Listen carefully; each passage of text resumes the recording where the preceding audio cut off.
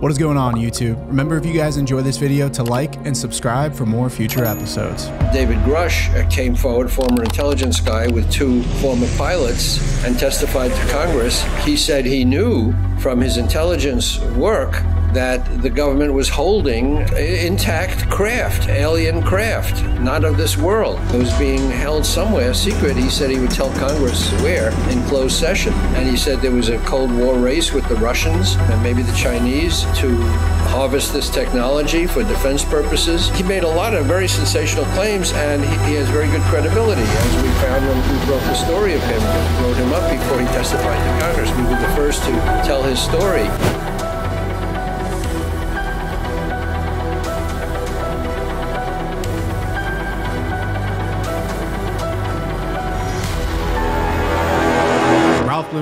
Welcome on the show. Really excited to have you today. Have a ton of discuss, but obviously I first want to highlight brand new book that just came out, UFOs, Mystery in the Sky. So if you can just give a quick introduction, both what the book is about, your background in journalism, and you know how you kind of got into UFOs as a topic. Oh, great. Okay, so um, this is a book my wife and I did. She's a children's book author, Deborah Blumenthal. And um, I have been writing about UFOs for the New York Times, and I had been uh, working for 17 years on the biography of John Mack um, called uh, The Believer.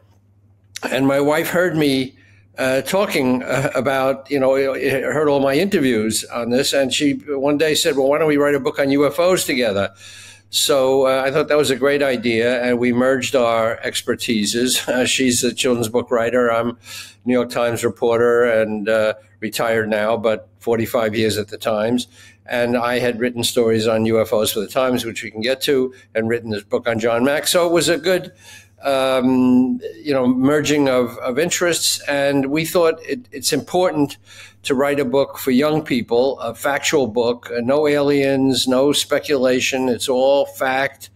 Um, you know what can be uh, authenticated so far, beautifully illustrated by a, a very good artist, Adam Gustafson. So that's the story of the book. It came out in March um, or April, I should say, mid-April, and uh, it's just a great way to introduce kids to the a subject. I mean, they're already introduced to it on TV and, you know, they hear stories from their friends, but this is a factual account and it's a way for parents and librarians and teachers uh, to bring up the subject in a very non judgmental way. And was there, did you guys notice that there was a niche or kind of an opportunity there? Because obviously, this topic for decades was so taboo to talk about even in, yeah i mean you know, we did not find any other yeah i mean we, we, we could not find any other children's book picture book that, that is factual there's a lot of fiction you know a lot of sensation about you know uh, speculation and aliens and stuff but we we found that this was the first uh, nonfiction sort of factual account um, that that we could come up with so we did feel um, that there was an unexplored, um, you know, niche here. And as I said, a way for parents and teachers to bring up the subject in a uh, non-sensational way.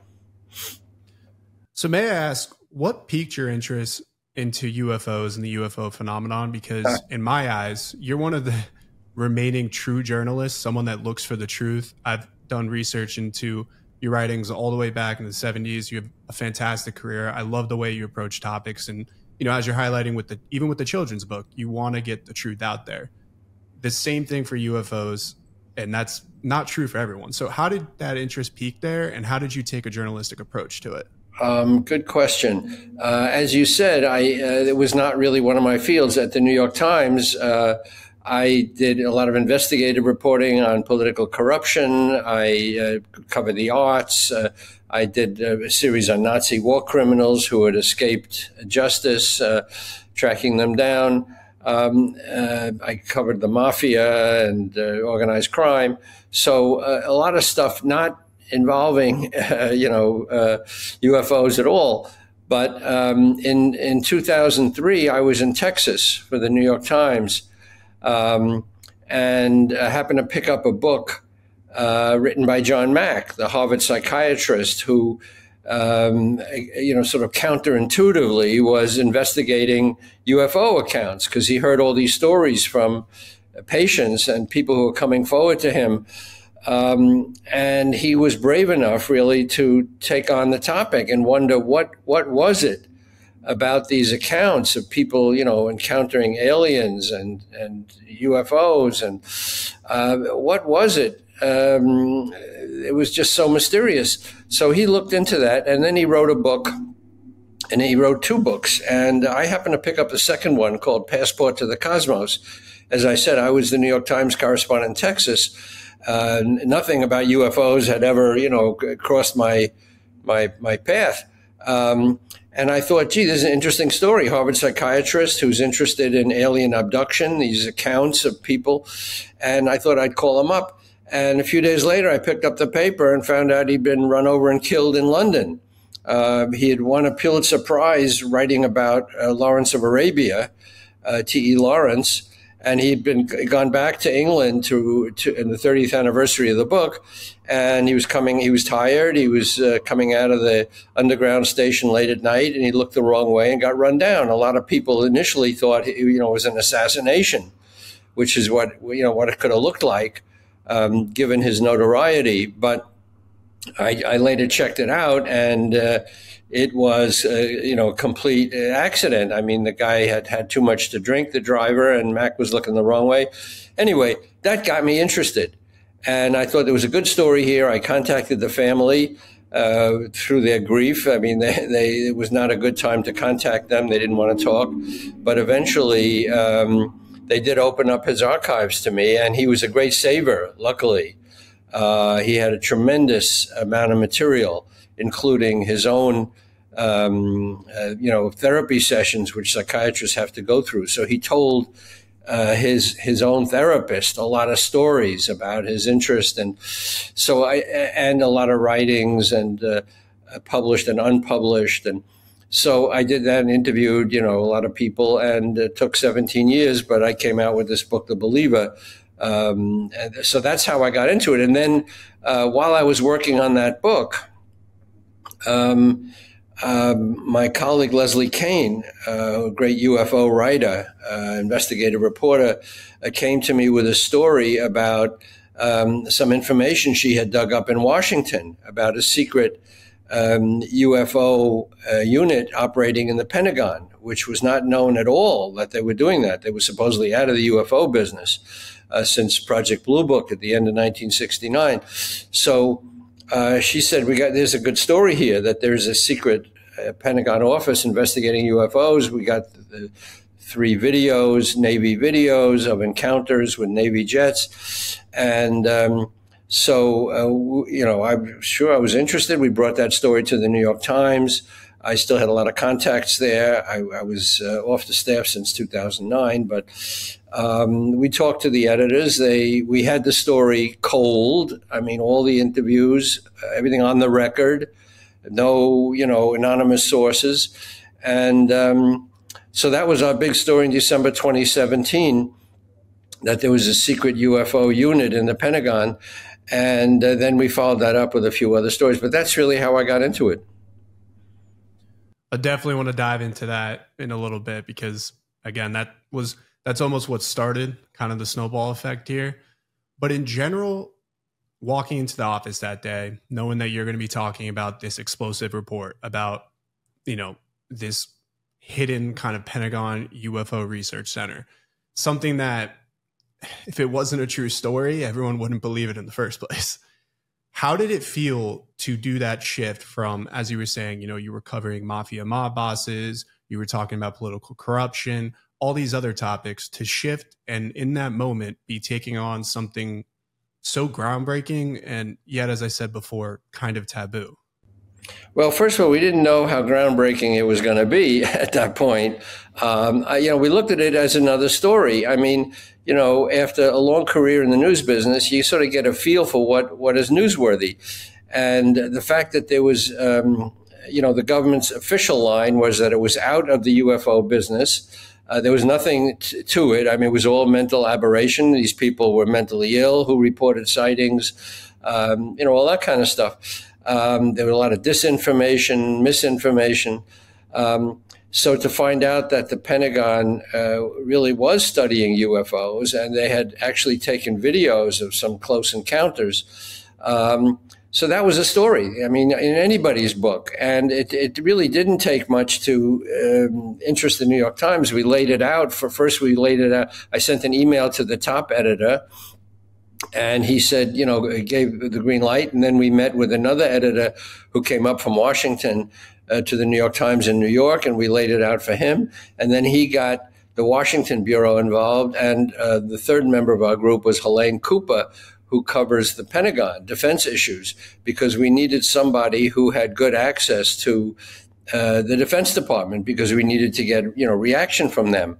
Um, so um, you know we didn't realize uh, really till the story came out in December 2017 um, how big it was going to get. Uh, you know, we just sort of did what, what reporters do, one step at a time, and then the Times put the story out on the front page on a Sunday, which added to its impact. And um, it, it, was it was a bombshell. I mean, uh, uh, other papers picked it up quickly, uh, and um, but I, I didn't get the sense as I was doing it that you know this is this is going to be historic. What was the moment that you realized that it had become a public sensation and something that, in a lot of ways, has really changed the level of disc- discourse about UFOs and UAPs in the U.S. and the world in general? Yeah, well, the hits, the hits just kept on coming, as they say. Um, you know, nowadays you can judge the impact of a story unlike when I started in journalism, you know, in the typewriter era, uh, everything is, you know, uh, instantaneous uh, in the internet era. So we could see right away that these, we put out what was three videos that we had gotten access to. Um, showing uh, uh, encounters with three objects uh, that were very puzzling, and you could hear the Navy pilots and sailors on a ship, you know, exclaiming about the amazing uh, mysterious quality of these uh, objects that you could see pretty clearly, like skipping over the waves and up in the sky like a like a gyroscope. Um, so um, those videos were among the um, I think the most watched ever in the history of the New York Times. So you can track, you know, eyeballs now. So we knew that a tremendous number of people were, were, tuning in. And of course, it was all over the other media. We were invited on a lot of shows to talk about it. Um, and um, so we, we, realized pretty quickly that um, this had hit a nerve. I mean, everyone was interested. Can you maybe explain AATIP a little bit more in depth for those that might not have had experience of actually being there for um, the initial release of the article? Yeah. So the uh, the name of the agency, the secret, the secret. It was always, always secret, a Pentagon, but it was not classified. By the way, we did not release classified information, but the secret uh, Pentagon office that was investigating UFOs was called the Advanced Aerospace Threat Identification Program, AATIP.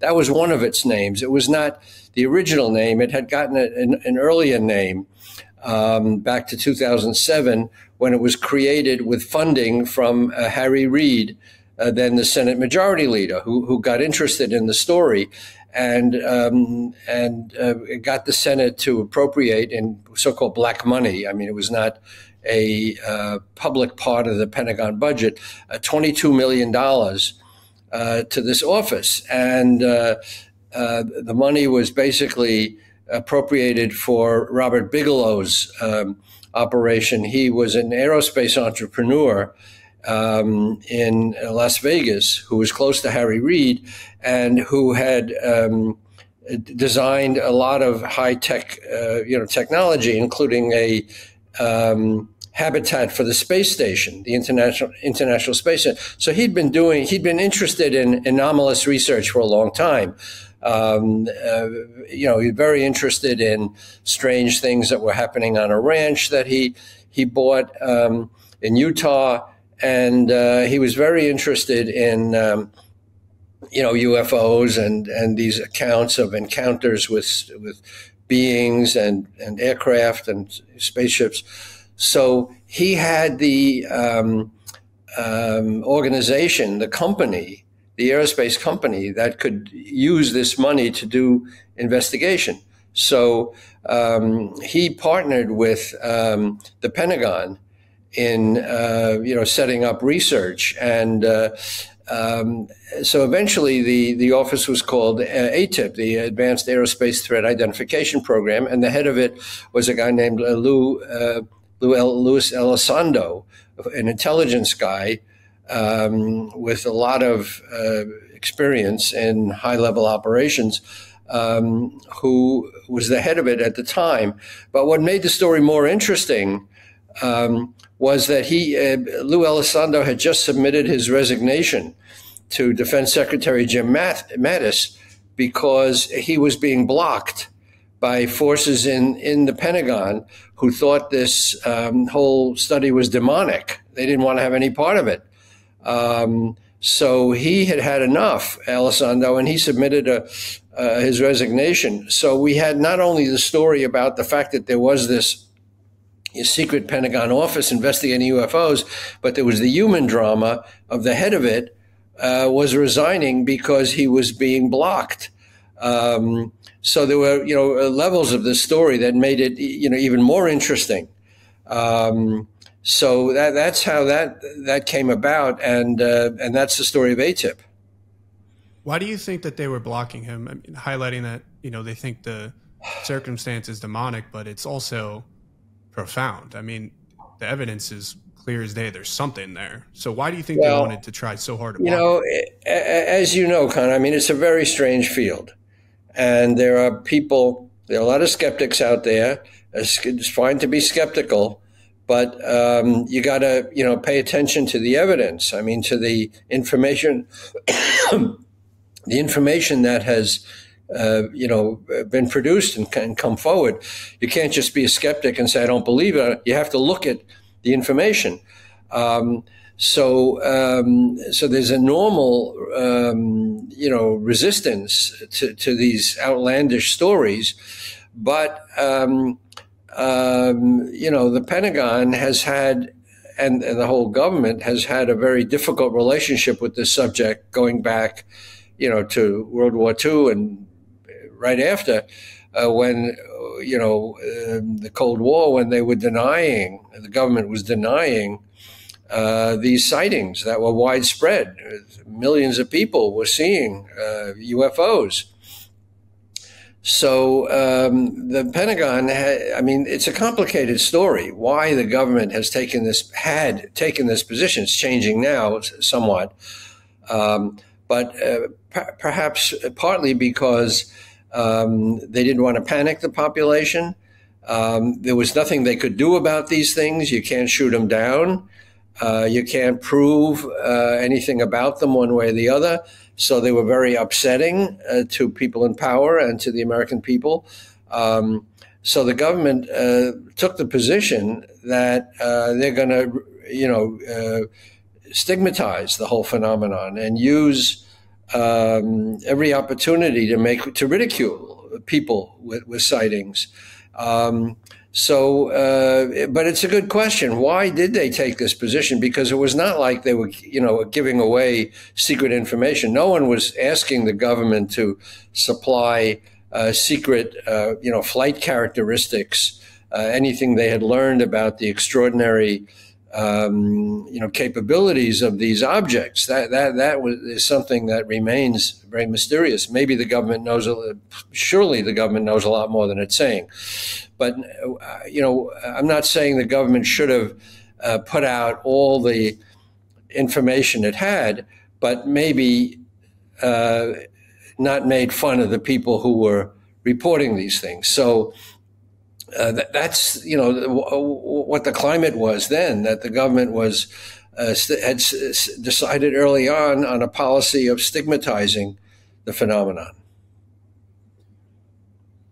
Can you explain Project Blue Book as well? Because that's another combination here mm-hmm. that there was a period where the government was researching this topic, and then the reason this revelation was so profound in, in, in another way was that they pretended like they blocked it out, UFOs aren't there, and then we find out later that they're still doing the research in the background, just no longer wanting it, you know, bring it to the forefront or admit that there might be something going right. on. Right.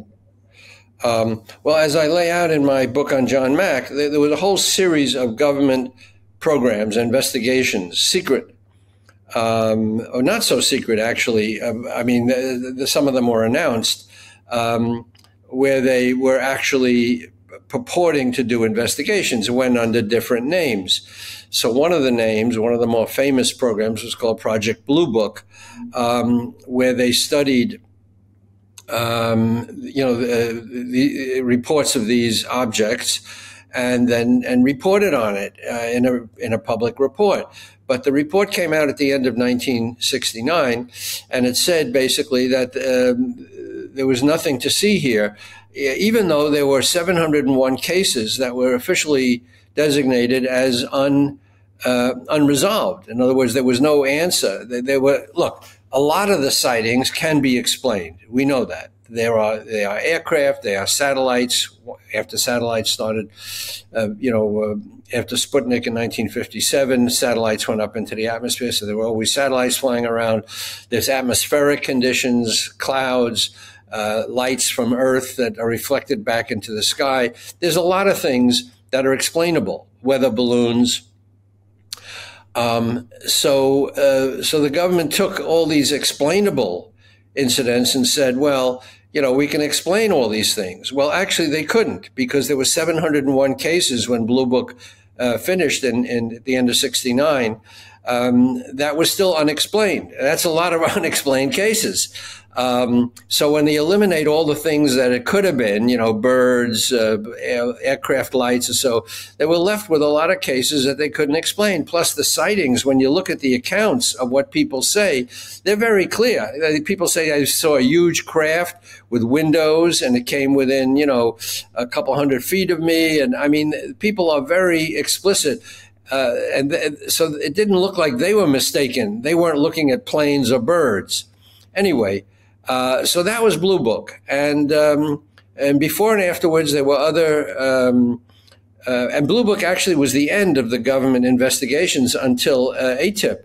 So you had from the end of 1969 to 2017 um, a period when the government was not officially uh, investigating UFOs, although it was uh, all along. I mean, records that have come out of the Pentagon show that the government never lost its interest um, in UFOs. There was always secret uh, uh research going on. So, um, but officially, uh, it ended with Blue Book until uh, AATIP. You talked about it a little bit, but there's been a massive shift in terms of the government's stance on UFOs and UAPs and their communication with the public. I mean, we're seeing congressional hearings now with whistleblowers and, you know, in the forefront of the public media sphere. Why do you think the government's perspective has shifted? And with that, do you think the reason that they were covering up in the past was that a fear of the unknown, whether it be technology that's not in our control, maybe China, Russia, country like that, or just the pure fact that it's something that we're so purely outmatched from that there is a worry of chaos there if we allow yeah. it to kind of run in the public mind. Well, I mean, clearly there has been a change uh, because, you know, what, what, I like to say is uh, just look at how far we've come from the days when the government denied uh, that there was any validity to this phenomenon at all. I mean, initially they were saying it's all, you know, hallucinations, mental illness, swamp gas, you know, all the ridiculous explanations. Um, so, um, you know, why they changed, first of all, more information has come out. Uh, and we, are now in a different technological era where everyone has a cell phone, so people are taking a lot more pictures, videos. Um, and uh, it, but it has been an interesting you know progression in terms of more openness. So um, um, you know after our 2017 article and a couple of others that came out um, people in congress started asking questions. Now uh, members of congress were tra- traditionally kind of intimidated by the subject because they were afraid that they would be ridiculed uh, by their you know, political opponents at campaign time. So everyone was afraid to touch this thing. A little by little, members of Congress started asking questions. Um, you know, like what what is this phenomenon? Who is studying it? Uh, and um, uh, so uh, there's been uh, you know quite a bit of progress in terms of, as you mentioned, congressional hearings. Uh, the the most uh, um, sensational one was you know a few months ago when a fellow that Leslie and I wrote up in the in the debrief website um, David Grusch came forward, former intelligence guy with two uh, former pilots, um, and testified to Congress that um, uh, he, he said he knew from his intelligence work that the government was holding um, intact craft, alien craft, not of this world. Uh, was being held somewhere secret. He said he would tell Congress, you know, where um, in closed session. Um, and he said there was a Cold War race with the Russians um, and maybe the Chinese uh, to uh, harvest this technology for defense purposes. Um, uh, so he, he made a lot of very sensational claims, and he, he has very good credibility, as we found when we, we, we broke the story of him, wrote him up before he testified to Congress. We were the first to tell his story. And um, so that had a lot to do with it, that uh, people like that with, with good credibility. By the way, credibility is very important in this. There's a lot of stuff, uh, you know, on the internet uh, floating around, a lot of claims. Um, and we're very careful, Leslie and I, uh, and Helene, when we worked with her, Pentagon correspondent of the Times, to only report what we could um, uh, really uh, find credible and that we could back up. Uh, you know, I mean, we, we couldn't prove some of this stuff, but at least we could put names to it. Uh, that's the important thing. It's not anonymous. We check the people out who are telling these stories. Uh, their credentials are very, uh, you know, weighty. They're people with long experience in government. Um, and so, you know, part, part of this kind of reporting is to use sources that you can uh, credit that people can trust. That, that's the thing. Uh, as I said, even though we, we, we, we have not seen these craft, Leslie and I, you know, it's it's classified. You can't just say, "I want to see a captured flying saucer." The, the, government won't take you there. The members of Congress were turned down when they showed up at a base and said, "We want to look and see what you have here." So that's the big problem in this field. That uh, uh, almost all the important information is classified. What does that say about government transparency and the topic as a whole? That you know you'll have whistleblowers coming forward, and I'd love to kind of dive into David Grusch and some of the other ones that have come forward, just kind of get your perspective on that. But what does it say about government transparency there that without members of Congress wanting to go see this craft that will approach these sites and they're quickly shuffled away by you know, some other levels within the government, within the military. What does that say about the transparency and the fact that we don't have the communication going even for this topic? Well, what it says is that there's no transparency on this topic. These uh, are the deepest secrets that the government has. They're deeper than anything else that the government has, including nuclear technology, uh, you name it. Um, um, th- these secrets are protected uh, by layers of um, classification. Um, very few people are privy to the information. They are, um, uh, you know, locked away in little special access programs, what we call um, these super secret um, uh, entities in the government. Um, it, it, it's, this information is even not routinely available to presidents. Uh, some of them have been briefed, we understand, presidents at their own request, um, but not routinely. Um, uh, a lot of the information is held by private contractors uh, who work with um, the Defense Department and who are not privy to uh, or subject to a freedom of information requests. So you can't send a, a, FOIA request to Lockheed, for example, and say, uh, I want to see documents relating to this, this, and this. Uh, they're not subject to that. The government is, but uh, private contractors are not. Um, so these are the deepest secrets that the government uh, has, and they're protected um, really rigorously, certainly through levels of classification. So you, you, you, uh, it is illegal to report on, on this information. No one wants to go to jail.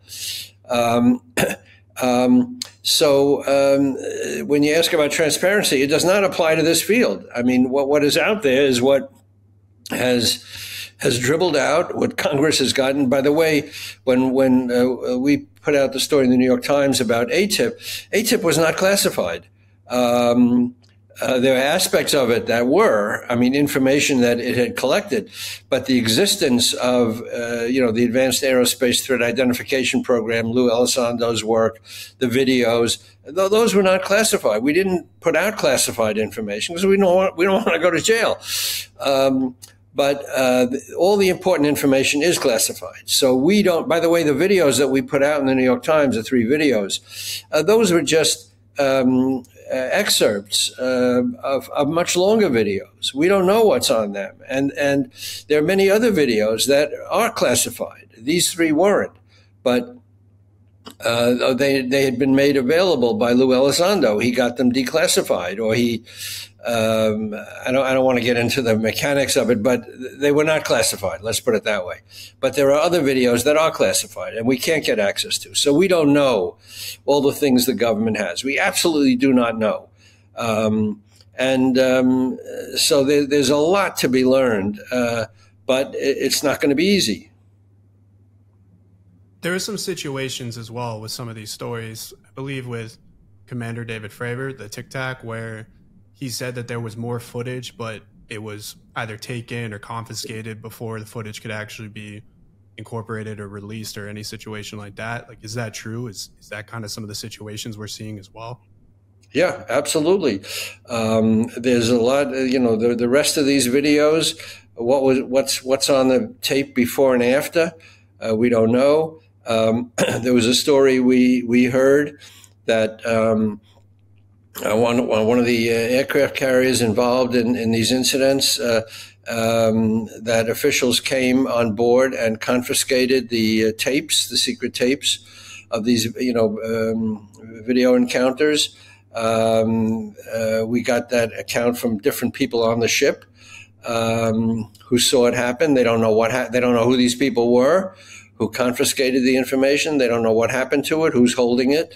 Um, so for sure, uh, this information, uh, uh, you know, there's much more information uh, out there, and um, but uh, it's it's going to be very difficult to get because, as I said, a lot of it's classified. Now, should it all be classified? Because some of it probably has to do with information that our adversaries would like to get. They'd like to know how to fly craft, you know, at these incredible speeds that operate maybe underwater and make you know can stop on a dime, make a U-turn uh, have an unknown means of propulsion.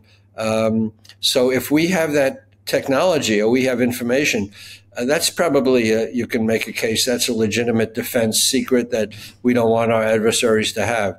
But just to say that these that there is this technology out there that we can't explain that it's not of this earth, it doesn't belong to China or Russia or any other earthly power to say that, that's not giving away defense information. That's information that humanity has a right to have.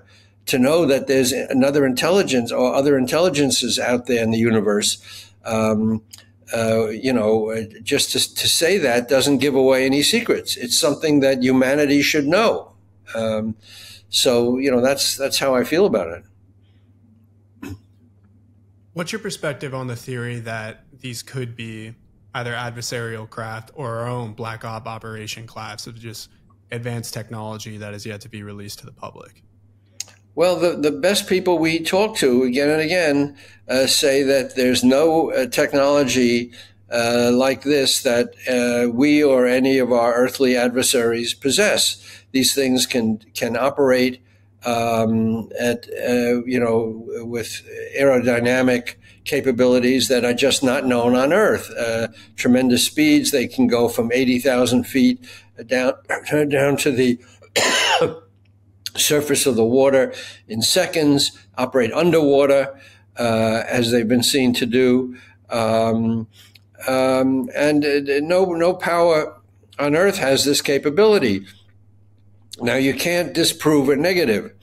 So, you know, you can always say, well, maybe, you know, uh, China, maybe Russia, well, maybe, but all the experts we've consulted say uh, it's beyond the realm of possibility that any power on earth can ha- has the capability of uh, producing uh, objects that, that operate like this. Um, and and if we had that capability, we wouldn't be using it in areas where our own pilots are flying. And you know, uh, in one case, uh, we wrote up in the New York Times, two um, American, uh, you know, jet pilots were flying um, their, their, their jets. Um, close to each other, and one of these strange objects flew between them really close. Uh, now, you know, uh, um, if we had this technology, it wouldn't be jeopardizing our pilots. Again, it, it makes no sense whatsoever. So, um, uh, and again, the experts we consult again and again say nobody has this technology on Earth. I'm curious, especially for, you know, how hard you are on credibility. There's one story that oftentimes is brought back up as Bob Lazar talked about the fact that even back in I believe it was the 70s that the U.S. had been able to found a, a, downed UFO spacecraft, had reverse engineered the technology, was utilizing it in our systems.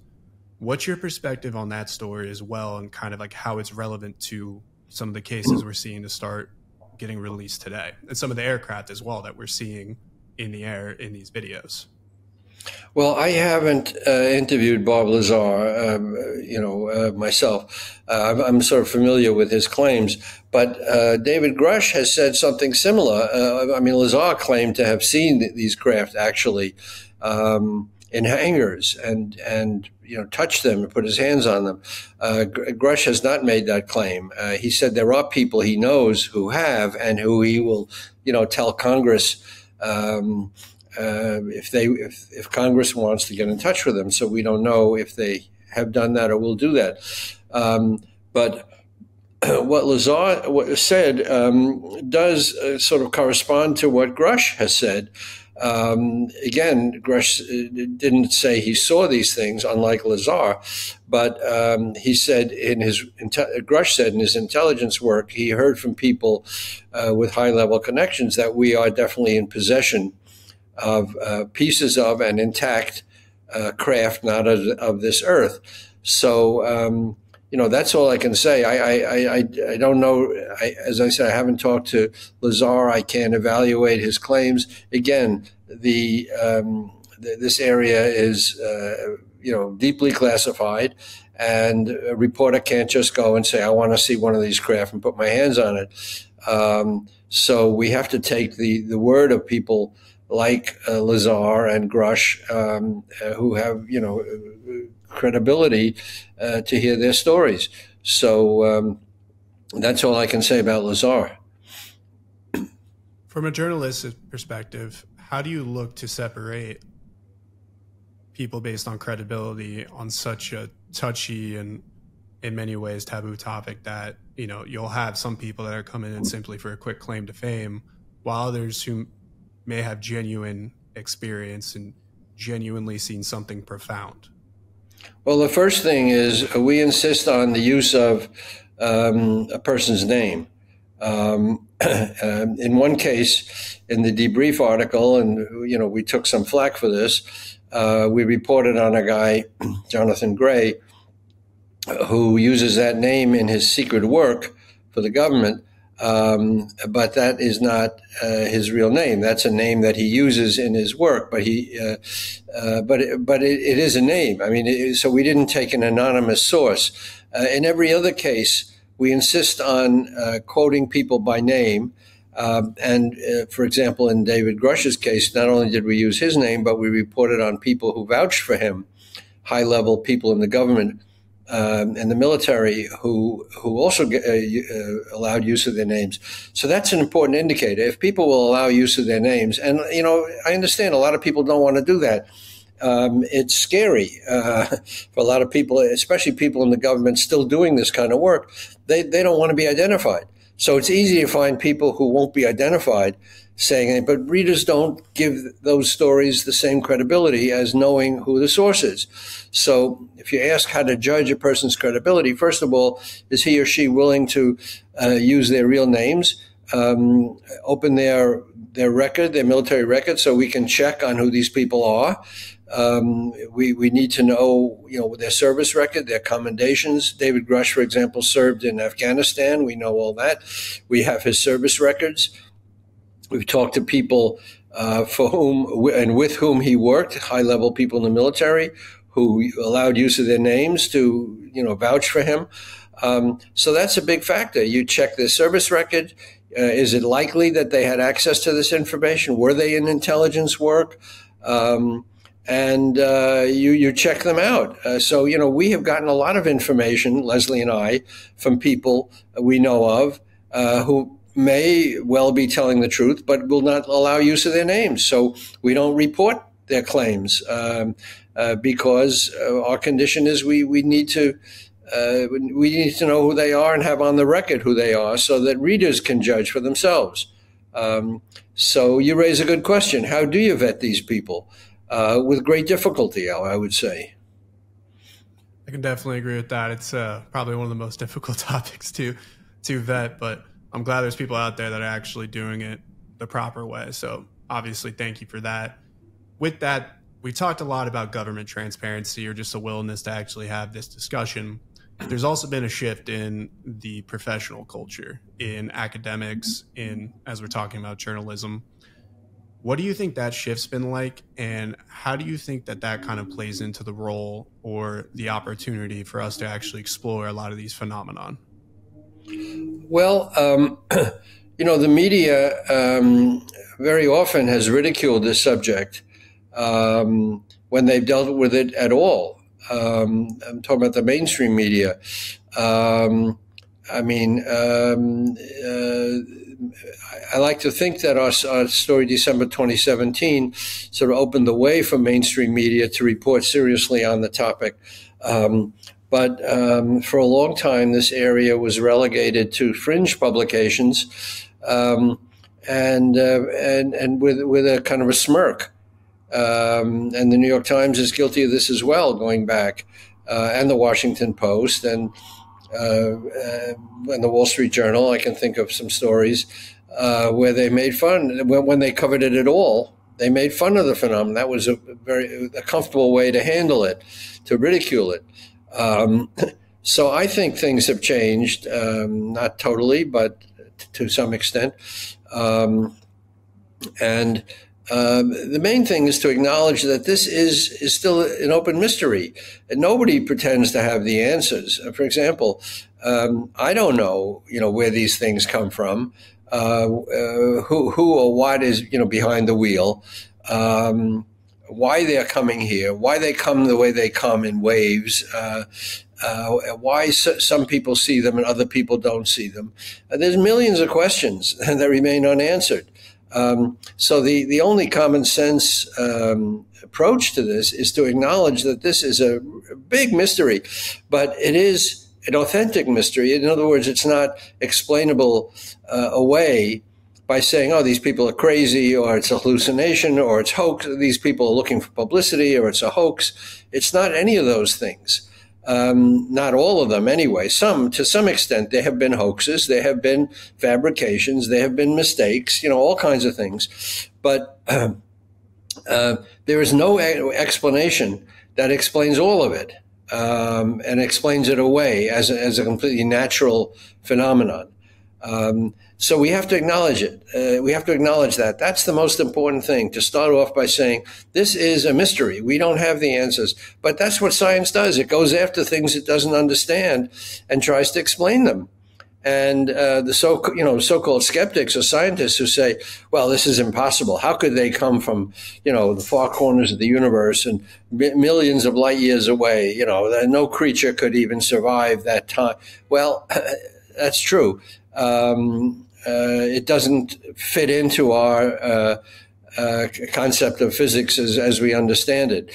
But um, but there, as I said, we have to acknowledge that there's a mystery here. But at least we also have to acknowledge that the um, evidence that has come out, and I will call it evidence because it's um, it's strong pieces of information that uh, is hard to that are hard to um, uh, deny. Uh, sightings by reputable people in daylight. It doesn't only happen at night, uh, but daylight, uh, close encounters. Um, how do you, you know, explain that all away? You can't. You have to say this is a mystery, but at least the information seems solid. I'd be interested in hearing your perspective too on some of the academics that are connect- connecting this to some of the ancient societies we've seen, are just you know that they're these sightings, these beings have been here for much longer than we may originally thought. I know the debrief did a great piece on uh, Avi Lobov's research into an aircraft or, or possible UFO that might be at the bottom of the ocean, which was really fun piece to follow along with. I'll link that below. If you want to speak to that a little bit, it was awesome. But in general, there's starting to be that conversation as well. So, what's your perspective on that and kind of the connection that these might have been here a lot longer than we originally thought? Well, the accounts of uh, strange objects, uh, as you know, go back to prehistory or, or ancient history. Uh, there are accounts in the Bible and the Upanishads and all kinds of, um, you know, ancient literature of unexplained things. Now, they, they're often, uh, um, you know, cited back then in terms that are um, co- uh, consistent with the culture of the time. So in the Bible, it's the, you know, you know the, the, the we, the uh, fiery wheel or chariots in the sky. They didn't say automobiles, you know, back in the biblical days. They said chariots because they didn't know about automobiles. Um, so, um, but the, certainly uh, accounts go way back. And in my book on John Mack, I talk a little bit about the very strange accounts in the, in the late 1800s uh, before uh, the Wright brothers um, of uh, heavier than aircraft that was supposedly seen by a lot of people around the, the United States. And by the way, this phenomenon is not just limited to the U.S. It's worldwide, but we have maybe some of the better or best reporting. So you, you keep hearing these accounts, but it's certainly not limited to the U.S. But anyway, um, um, so there's certainly, uh, you know, hundreds of years and maybe thousands of years, uh, accounts go back of things that uh, people saw in the sky that they could not explain. Um, and, um, um, and I missed the second part of your question now about uh, um, what was it you said? There was Avi something. Lobov's. I know oh, Avi Loeb. research. Uh, yeah, I have a great regard for Avi Loeb. I, I appeared at his Harvard uh, group uh, a couple months ago. I gave a talk about my research um, uh, as a journalist. And um, his latest expedition was very interesting. He went to uh, the ocean off New Guinea and uh, her, where some object supposedly plunged in, and they found um, little spherules, round residues of, of, of some uh, solid object um, that they're having analyzed. And the question is, uh, does this material correspond to material on Earth? Um, so uh, I understand that there's no definitive answer yet, but it certainly they did recover against um, against all odds, actually, considering that they were, you know, uh, combing the bottom of the ocean floor off New Guinea, a special area that they, uh, you know, had had zeroed in on. That they actually found um, uh, some metallic residues there. So um, and as you know, he also uh, wrote about uh, Oumuamua, which uh, was a, a, an object that um, nobody really saw. I mean, it was in and out of the solar system before anybody knew what it was. Um, I think it was 2000. It was around the time of our article. It was either 16 or 18, 2000. But it was the last few years. And um, by different uh, astronomical measurements, it seemed to have uh, picked up speed at a time when a normal meteorite or an asteroid couldn't do that. So the hypothesis was that it was using some kind of a light sail or some kind of technology to speed up its its trajectory. Um, if so, then it, it, might not be a natural object. It might not have been a natural object. It's now way, you know, gone into the solar into the solar system and the rest of the universe. But uh, it just passed through.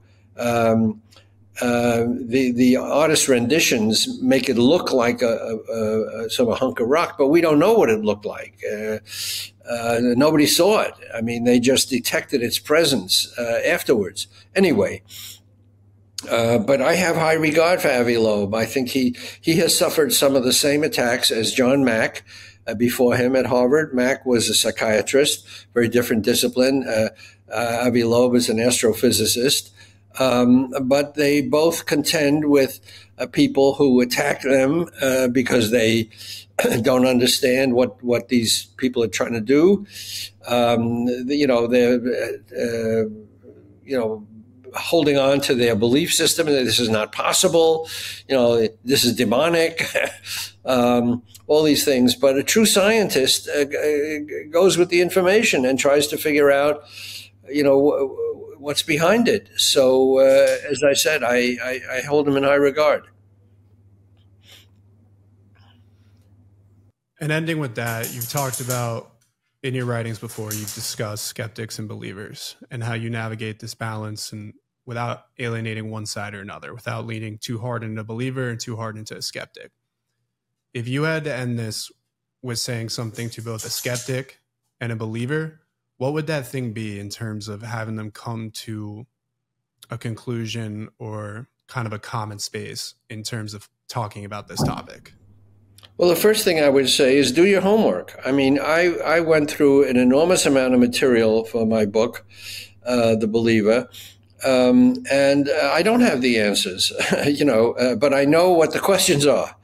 Um, so what I object to in the so-called skeptics is that they have a ready answer. Oh, it's sleep paralysis. You know, these people are just having nightmares and they see these uh, alien beings um, in their dreams and then they think it's real. Well, some of these, many of these incidents don't only happen at night. They happen when people are in broad daylight walking in the fields or, um, you know, driving a car or doing other things. So if you're going to be a skeptic, do it from the point of view of um, uh, the information that's available, and there's a lot of information available, a tremendous amount of uh, accounts now by ordinary people, and this is what struck John Mack. Uh, these people come from all walks of life. Um, they're professionals, they're blue collar people, they're young, they're old, some children two years old um, who have not been to the movies and not read books about UFOs. They're just telling things that they say they've seen. Little man, take me up into the sky. Um, so, um, uh, if you're going to be a skeptic, be aware of all this information and, and, and, and, and account for it. And if you can't account for it, say that. Say that uh, we don't know, which is what I say. Uh, all we know is that um, there's a lot of very puzzling information out there and things that do not lend themselves to, um, you know, a, a, quick solution or any solution that we can understand. So um, that's that's the first thing. We, we need a lot of humility in this thing, but um, we've got to acknowledge that there are some really puzzling accounts out there, and the technology is, um, you know, Navy instruments have have captured some of it.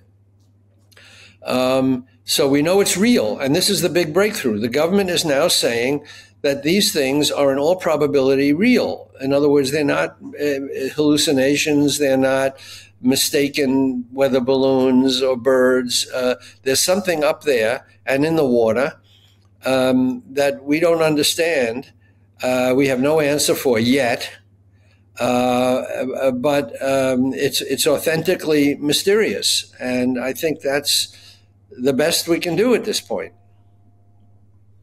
Well, Ralph, I want to thank you for coming on the show today. I know we talked a little bit about John Mack and uh, Avi Loeb and the way that they are really taking a risk by putting themselves out there, but also, even though it's a risk, they're really making a massive change. And I would put you in that same camp. Seriously, everything you've done for the UFO phenomenon, for being willing to take a step out there and actually help people not only know what's going on, but actually be able to know what's going on from the truth.